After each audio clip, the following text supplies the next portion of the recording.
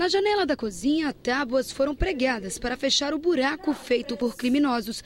Na noite de ontem, bandidos aproveitaram que não tinha ninguém em casa e fizeram uma limpa na residência.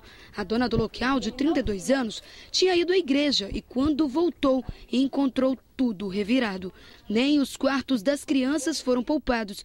As fotos tiradas após o arrombamento mostram como a casa ficou completamente bagunçada.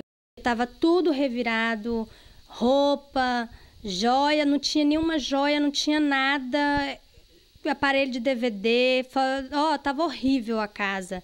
Sabe, é uma situação muito triste porque a gente trabalha para adquirir um bem, para adquirir algo. Aí vem umas pessoas que faz nada da vida para estar tá tirando aquilo que a gente esforça tanto para adquirir. O roubo aconteceu no bairro Mestre Álvaro, na Serra. Os criminosos só não levaram mais objetos porque acabaram surpreendidos. Os televisores já tinham sido tirados da tomada, mas acabou não dando tempo de levar tanta coisa. Foi o pai da dona de casa que percebeu que a residência estava sendo assaltada. Ele viu três adolescentes pulando a janela e indo embora com todo o material roubado.